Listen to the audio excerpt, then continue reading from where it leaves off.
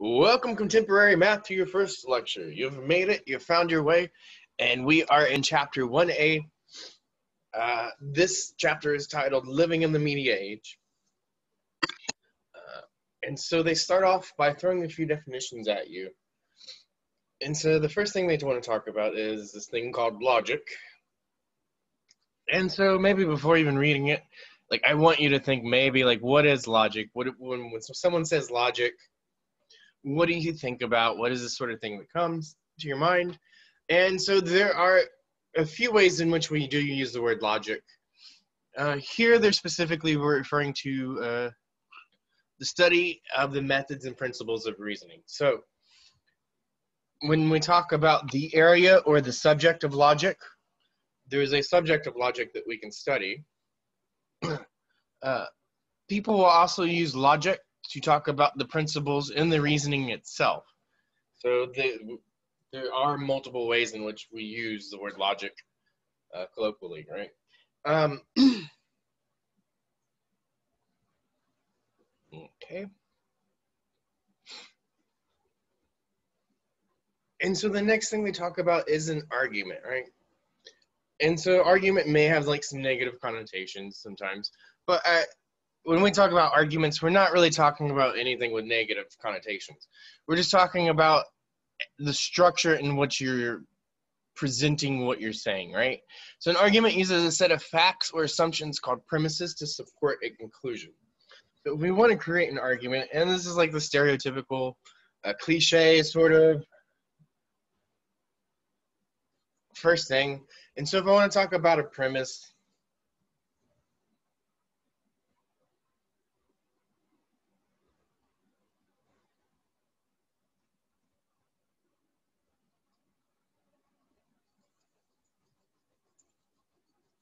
we talk about two premises and a conclusion. so this first thing says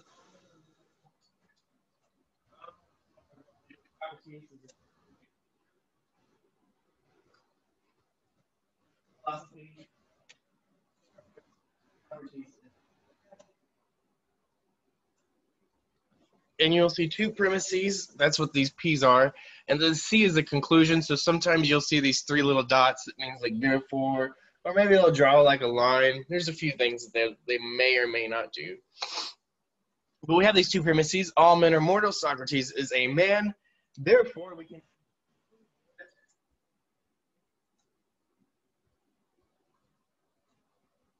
Socrates is mortal. So this would be something like an argument that we would talk about. This is a deductive argument. So this is deductive reasoning or deductive logic.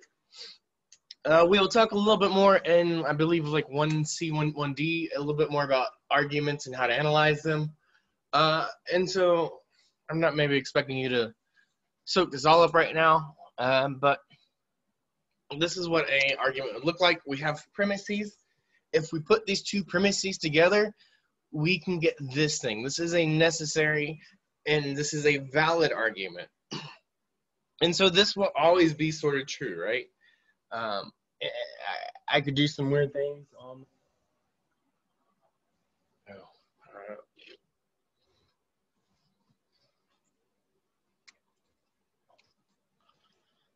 all men are feathered. All men are feathered.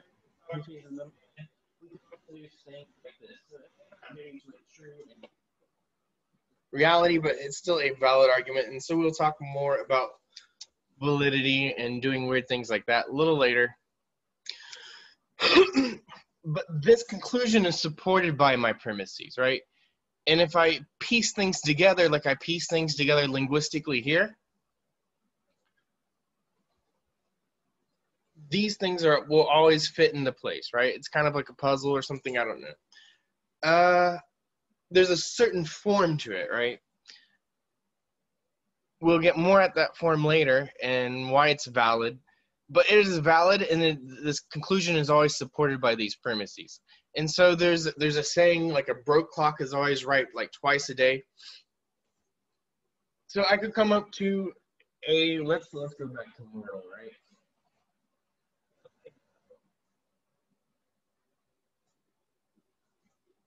So let's pretend like we're back in reality. So all men are mortal. Socrates is man. Therefore, Socrates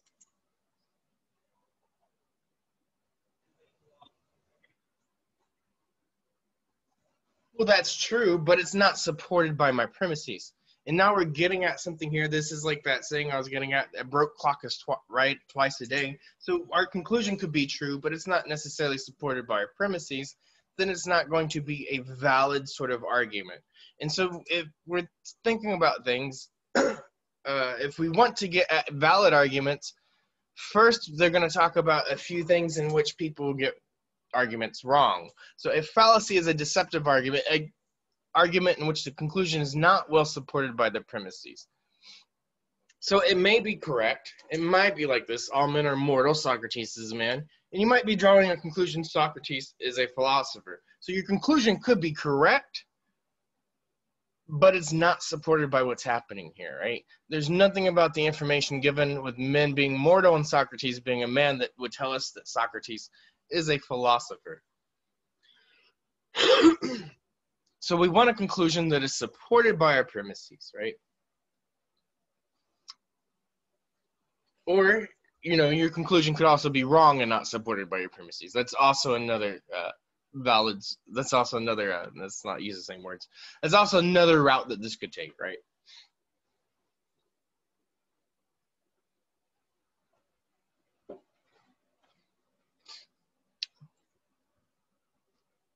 I said something true, Socrates one. It's not supported by this. All men are mortal. Socrates is a man.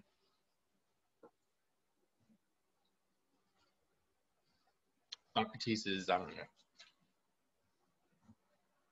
Done talking about him. so, getting to fallacies and things that don't make sense, things that are not properly supported by their premises, right? And so this first one is the appellate. There's, I believe, yes, there are 10 sort of fallacies, common fallacies that we're going to talk about. Um, and so I want you to kind of be able to give, come up with your own examples. Uh, if I give you an example, I want you to kind of know like where it's leading you, right? Um, with that said, these are fallacies. They're sort of things that we notice that people commonly do that are wrong when they draw up a conclusion. So it's not always definitive how these things are wrong. There are, I believe, there are some overlaps, and there are some ways that you can think about this. But I will try to make my examples clear, and I will make try to make them clearly leading to one of these, and as distinguished from the others, right? So hopefully I do that. but this first one is appeal to popularity majority and so if you like live through the D.A.R.E. generation uh, this is sort of like i think they sort of in line with the bandwagon approach right the fact that a large number of people believe or act some way used as evidence that they belief or action is correct. So this is the one the example that i have is Dunkin' Donuts is the best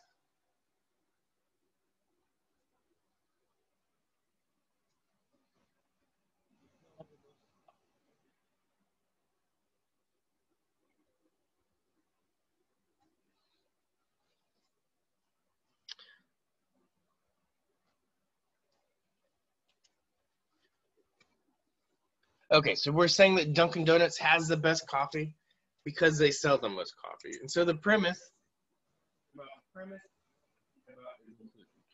so if I'm telling you Dunkin' Donuts has the best coffee, it, that it,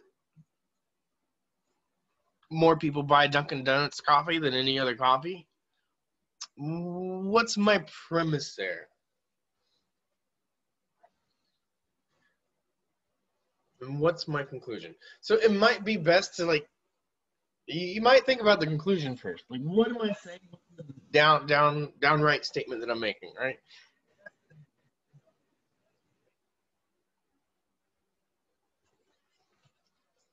The premise, why am I saying that?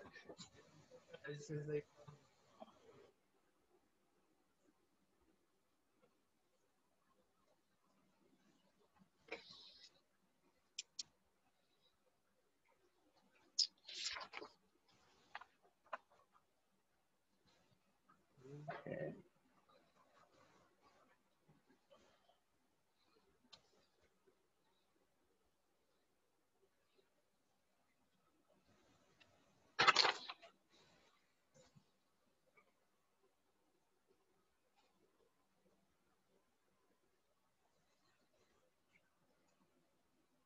Okay, so the next uh, fallacy we have is the false cause fallacy.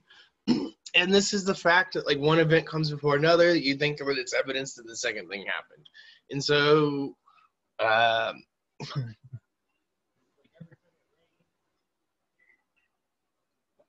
yeah, said it backwards. Every time I wash my car, it rains, right?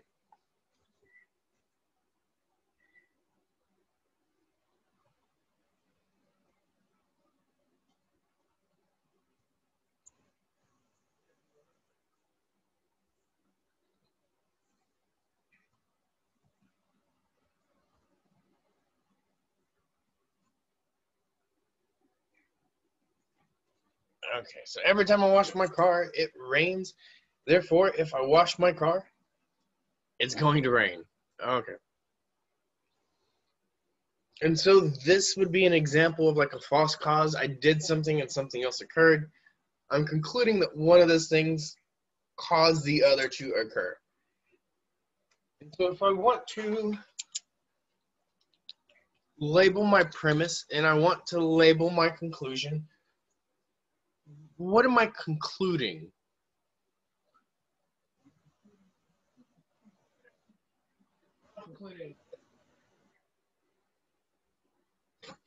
That's my conclusion is that if I wash my car, it's going to rain.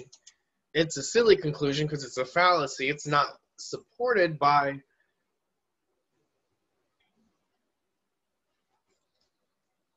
maybe you live in Seattle or Florida or somewhere that like it's rain every day, right? Practically every day. Um,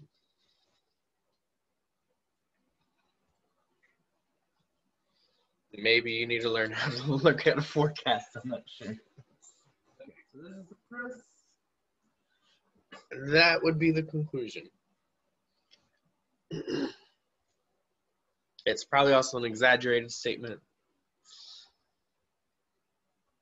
Also, it doesn't really say how long between them washing their car and it raining, same day or two days. Could be multiple reasons. It is not supported well. Kind of like, I really like the bloke, broke, broke clock example. it's like they might be right the next time, but it's not guaranteed every time, right? It's not working the same way that deductive Socrates is mortal sort of thing happening. All right. Example three, appeal to ignorance. ignorance about the truth of a proposition is used to conclude the opposite. Okay, so this would be like, uh, my example is that since there's no records of Frank checking out a book, then he must have not taken the book from the library.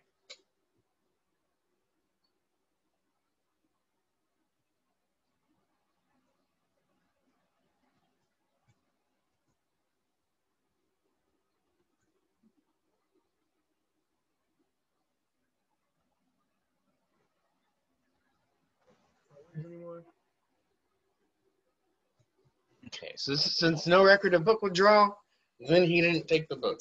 so I think it might be easier to start thinking about the conclusion. What are we saying? What is like the definitive thing that we're concluding?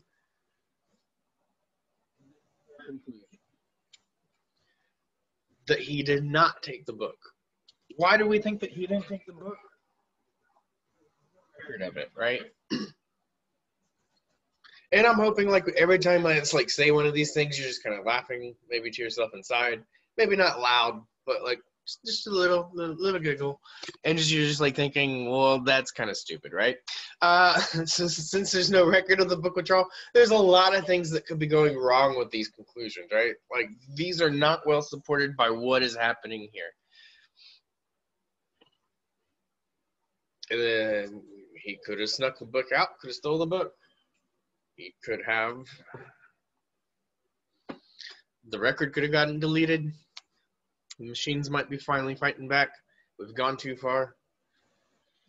They said enough is enough. Okay. Example four, hasty generalization. Uh, so this is a conclusion is drawn from an inadequate number of case cases or case uh, or cases that have not been sufficiently analyzed. Okay, so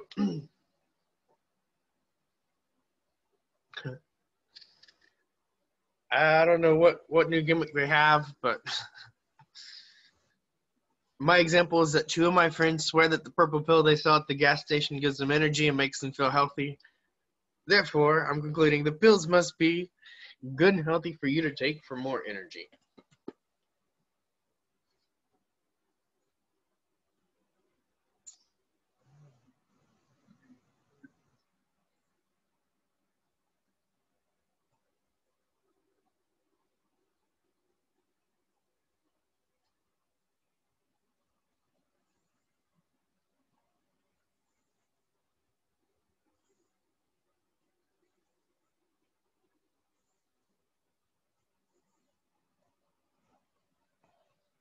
So your friends take a purple pill and they feel good. Therefore, you're concluding, yeah, the pill's good for you.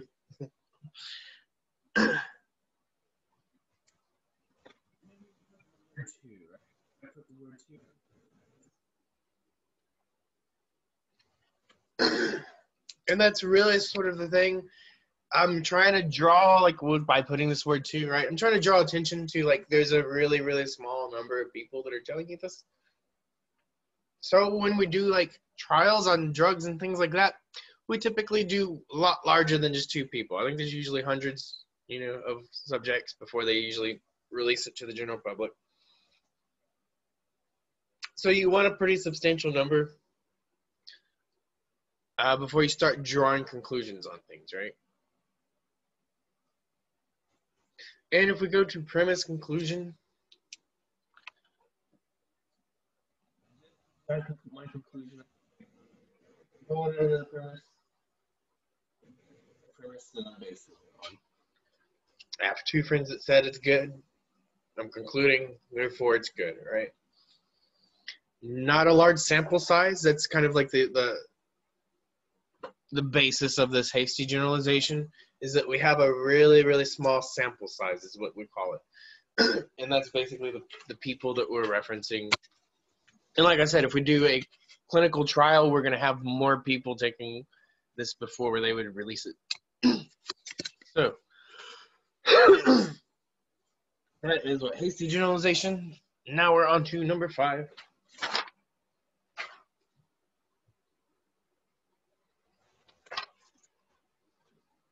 And example five talks about limited choice false dilemma. Uh, and so to, it artificially precludes options that ought to be considered, is what it says. And I think it's from the book, so probably not the best introduction. But this is also known if it's two options, this might be known as a false dichotomy.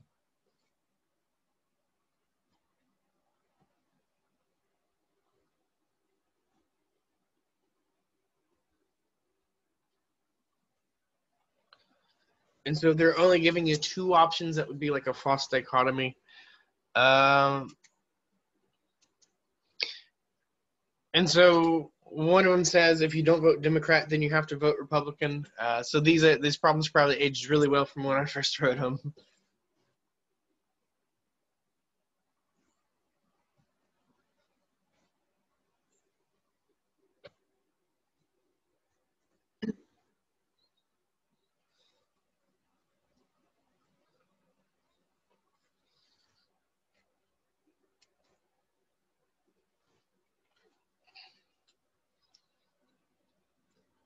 And if I make an if then statement, there is a sort of form. These are going to be it, right? The premise would be this thing. Conclusion.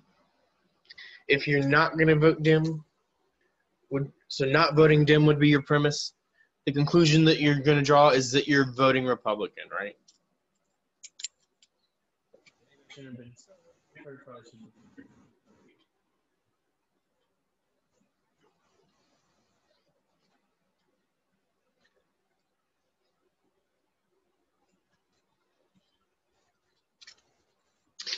And a little bit about like maybe the problem behind this is that like there's there's other options between voting, right? You could not vote, you could vote third party. There are other options.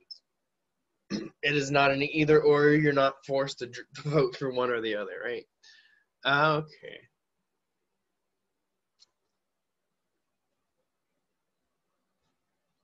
And that's what they mean by it precludes other options. You're you're forcing people to choose between two things, or maybe you're forcing people to choose between three things, and there's other things out there, right? You're you're narrowing it down to a limited choice, and there may be more things out there. Uh, there's an appeal to emotion, and this is an attempt to invoke um, emotional response as a tool of persuasion. Okay. So there's two sort of things uh, that I can think about that, that would be like really sort of typical. so I want to cue the Sarah McLachlan song. And what is that? ASPCA that uses the Sarah McLachlan song, right? The Arms of the Angel. Uh,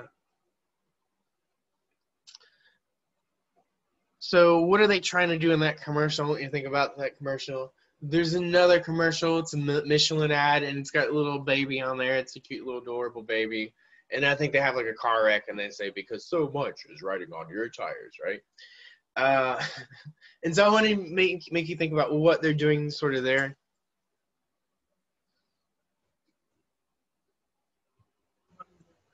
what is their conclusion, right?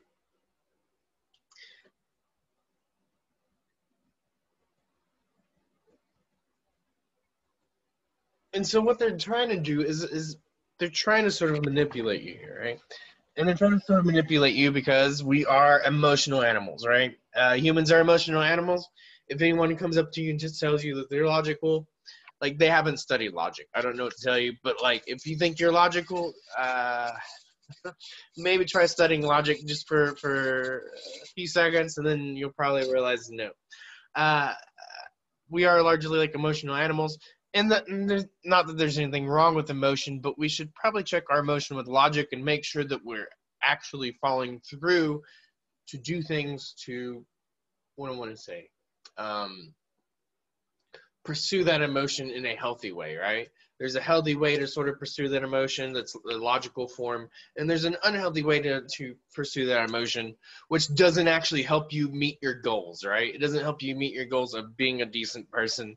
It actually helps you do the opposite right? And so it's, it's important to sort of study this thing to be a decent person right? I think there's a lot of like studying logic there's there's a sometimes there's a like juxtaposition between being emotional and being logical and uh, I personally don't see things that way. I personally see like you have to understand what you're doing logically to be a better person, and I can give you multiple examples of that. But uh,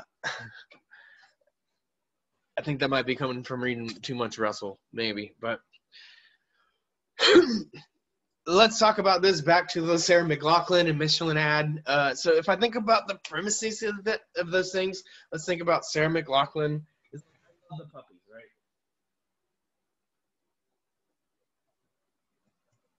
And what are they saying? Therefore,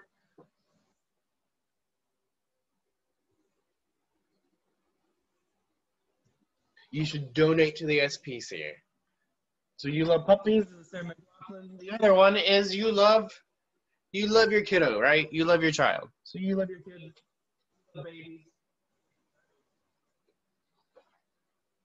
You gotta love them babies. So you love babies. So what should you do? Maybe you should buy not asking for donations, but they're asking you to buy Michelin.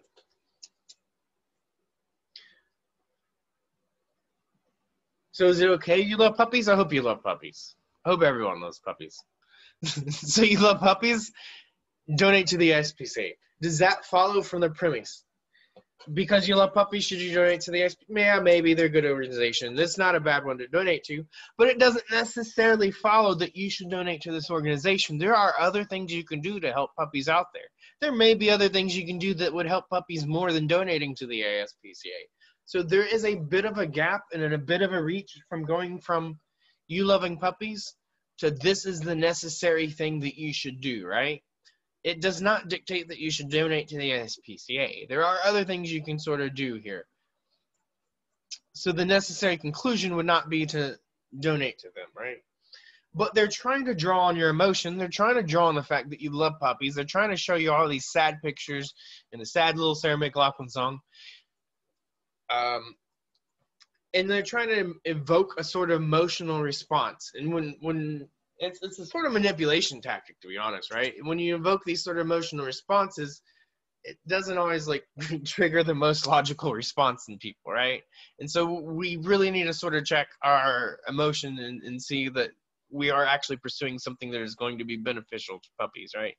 And I'm not trying to knock on the ASPCA. Go don- go donate some money to them. Fine. I like I have no problem with that. I, I would I would commend you for it, right? That's not what I'm trying to knock here. I'm just trying to say this is not a necessary conclusion. Maybe it's a little bit easier to say with the with the Michelin. They're a company and they're obviously in it to capitalize on it. So if you love babies, if you love your child, you should buy Michelin, right? That's probably seems a little more absurd, right? Uh, there are other tire companies you can buy. They're probably even safer. I think Michelin even had like some, some blowout problems not too long ago. So depending when you were talking about this, may not even have been the safest option, right? So it does not follow necessarily from that, right? Please don't sue me, Michelin. Uh, no. Uh, and a relevant person. Oh, okay, so blah. let me read things. So this is the seventh one. We're going to talk about personal attacks, ad hominem attacks. So ad hominem is like on the person. So this is instead of like discussing the point, you discuss the person. I guess is another way that they say it. Uh, That's an irrelevant personal attack is used against instead of arguing the point, right? okay. So, my good example is Mayor McSleazy claims to have a tax plan that will reduce taxes for the middle class, but he isn't even honest with his wife. So,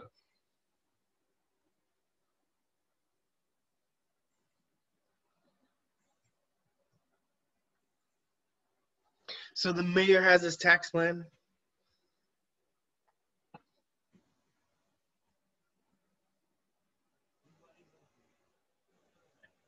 Unfaithful politician. So, mayor has a tax plan.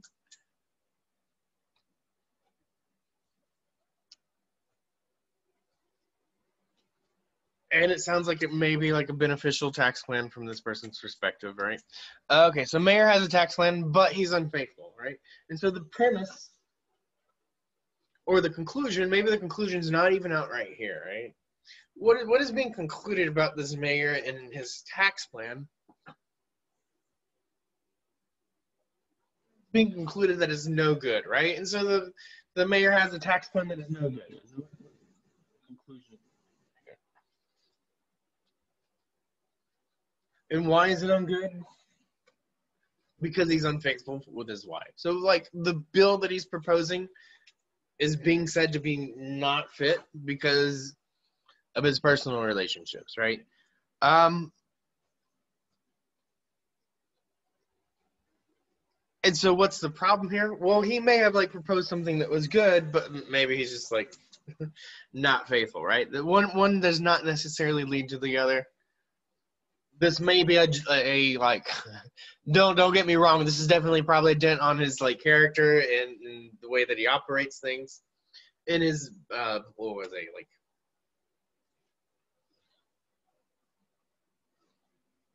um, on probably how the public perceives his trustworthiness. It probably uh, impacts that. But it doesn't directly mean that this tax plan is no good, right?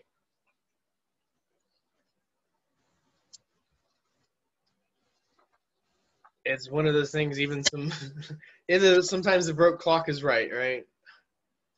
Uh, even some of the worst people will say the correct thing every once in a while, right? And a lot of times lies are kind of based on a little grain of truth and then they'll like kind of drag them out too, right? So that's also something something that happens. Uh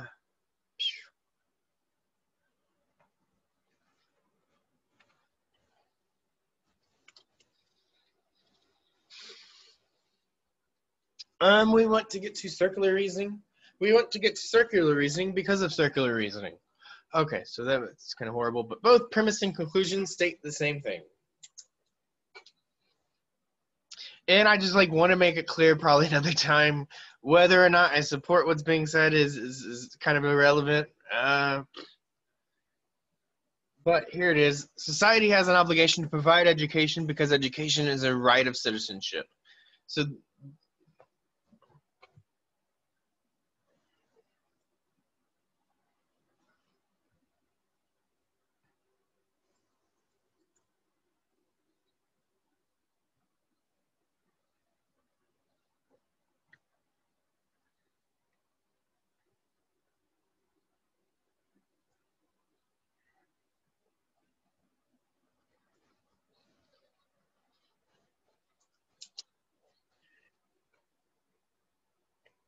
and again, whether I support this or not, right? I think there's there's something to be said when it, when you look at like something that is a fallacy. So this says society has an obligation for education because education is a right, right? So because would would indicate that this is your premises. This is why you're concluding society has an obligation. So you could say this is your conclusion, this is your premises, but if we look at them, they're really saying this one and the same thing. And I think it's important to stray away from fallacies, especially especially if you believe in this, right? Because you want to be able to communicate your point to other people. And if you believe society has an obligation for education, you shouldn't base that on saying exactly the same thing. Education is a right, right? Saying society has an obligation is kind of one and the same as saying it's a right. Um, and so you want to say something maybe a little different and, and provide like substantive reasoning for that, right? This sounds a little redundant. Okay.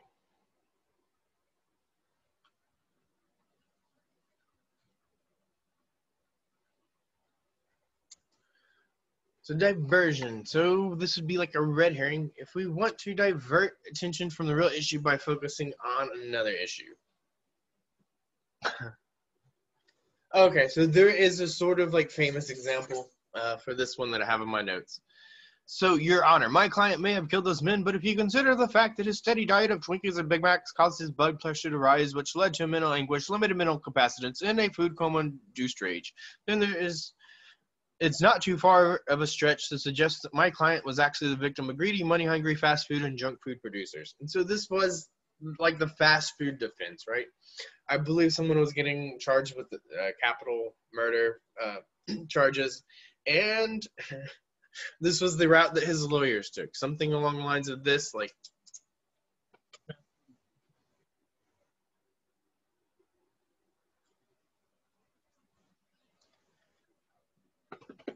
And so the premise of this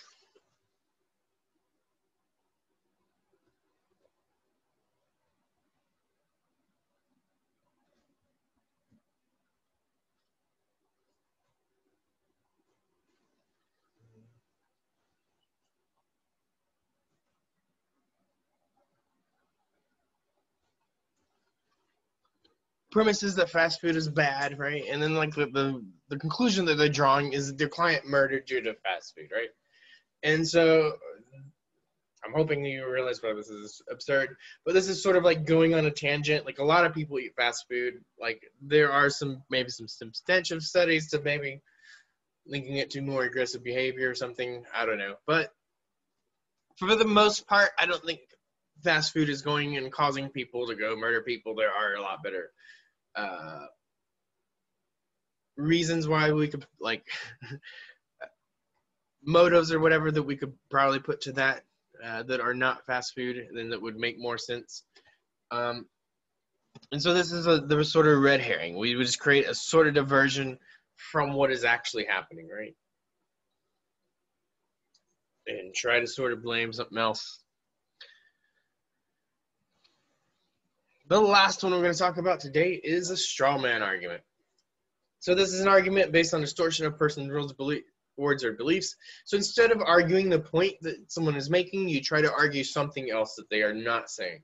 So like I have like person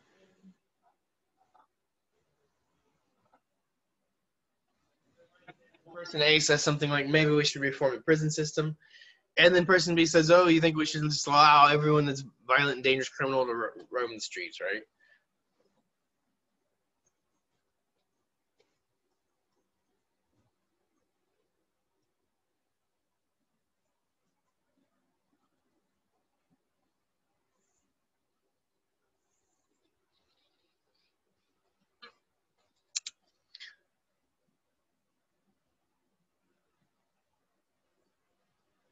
Okay.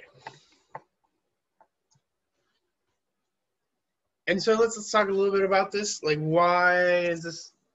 Mm, so the conclusion that they're making is that this person is saying that dangerous criminals, they want dangerous criminals on the street, and they're saying that based on the premise that they want to reform prison, right? So the premise is. And so remember again, these are fallacies, these are false conclusions. These are not things you want to do. Um, and so why is this not true? Because you can reform prison without letting out like dangerous prim- criminals. Um, there's a lot of non-dangerous criminals that get charged with a lot of things like drug uh, charges and stuff that aren't uh, violent. Um, and so there's a lot of things we could do to reform our prison.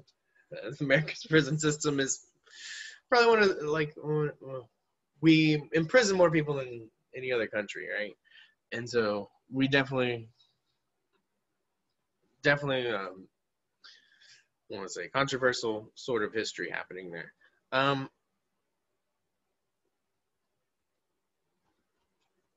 and so again, like this might seem really tempting, right?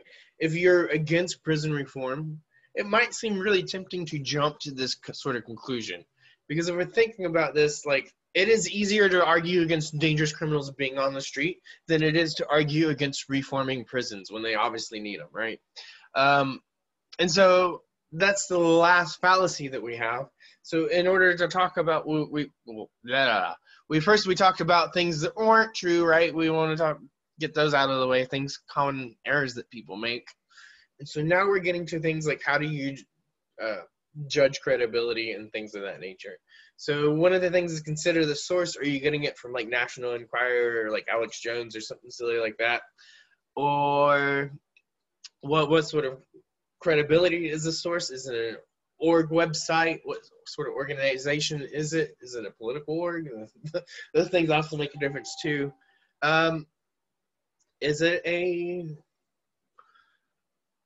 government website? Is it a what do I want to say? an educational website? Is it coming from a college itself and it's like their research? Um, also, is it scholastic research? You know, is it does it have credibility? Right. Check the date. Is it relevant? Is it outdated? Um, make sure you're not quoting something from 1800 scientific literature that's you know been proven to be pseudoscience since then. There's that word pseudoscience, which is kind of a misnomer because it's not science, right?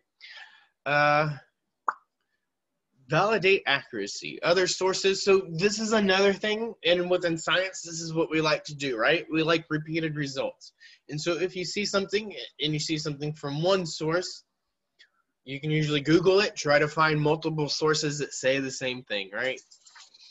Uh, try to look at their phrasing, how their phrasing is, make sure you're not interpreting things into the phrasing that aren't there, right? That's another thing that we do. We're all biased and we all put our biases into things. Uh, watch for hidden agendas. So again, like I said, like everything is biased, right? I don't think that there's anything that's not biased. It's just considering what the bias is and what I think there are more appropriate biases than other biases. Um, and so a lot of people say they're bias free And my personal take on that is that they don't actually understand what a bias is because we all have biases. Uh, if you want to read more about that, I would say probably like Howard Zinn makes a really, really good point in like chapter one. I believe it's chapter one of the People's History, where he talks about different perspectives, the different perspectives people might have of Columbus, um, and basically how they would both be factually correct, but they are very differing accounts, right? And based on your bias and what you put your what, what to say priorities into, right? What what you put your uh, I want to say morals, but it's it's like your uh, what you find to be important, right? That in itself creates a sort of bias, right? and that's kind of what the point he makes is. Uh,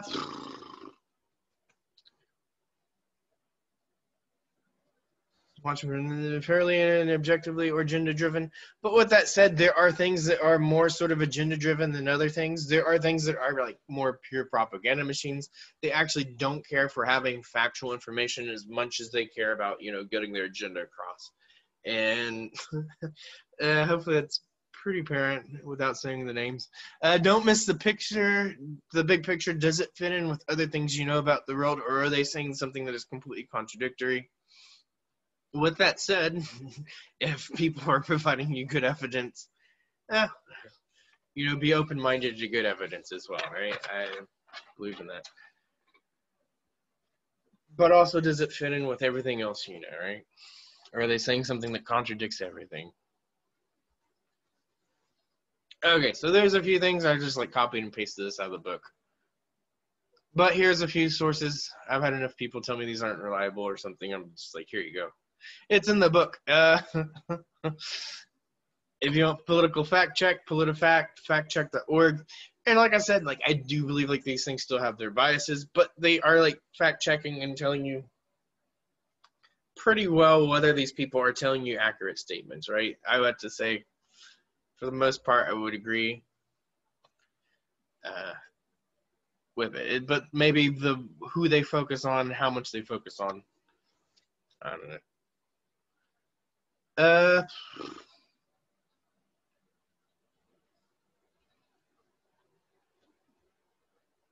so I think that probably will end this first uh, chapter. And so be sure to check out 1B, and I will see y'all in class.